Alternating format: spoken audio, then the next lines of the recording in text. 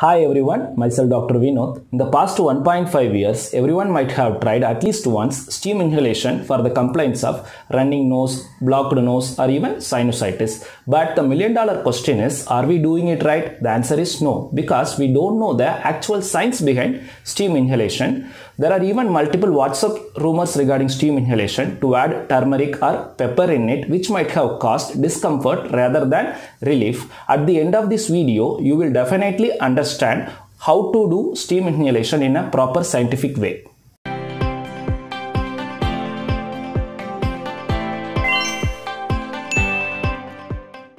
For better understanding regarding steam inhalation, we must know about the internal arrangement of nose. Nose internally contains three horizontal pillars arranged in a step-like manner on either side like this similarly and they are named as inferior turbinate, middle turbinate and superior turbinate.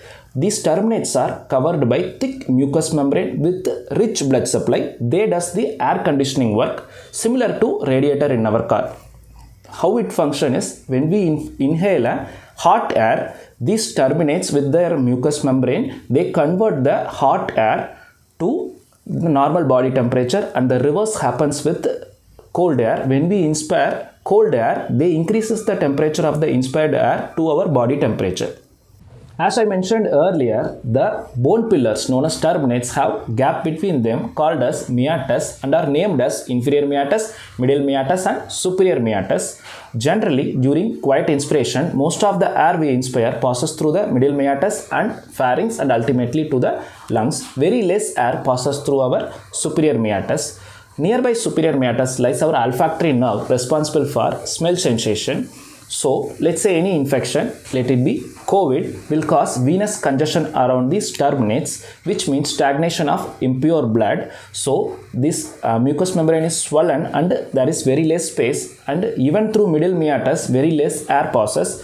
But the, in this uh, through this uh, superior meatus, very very less air, or sometimes there no air passes through that meatus, which is the cause for the first symptom in COVID and other respiratory diseases as hyposmia or anosmia or loss of smell.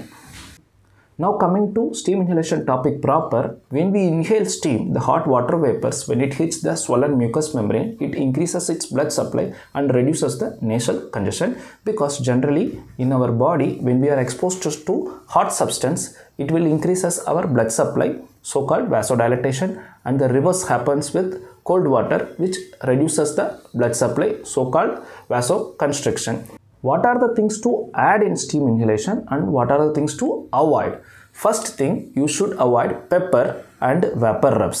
These things when added in the hot water, when it comes to steam, they cause irritation to the mucous membrane as well as to our eyes. So better you have to avoid pepper and vapor rubs.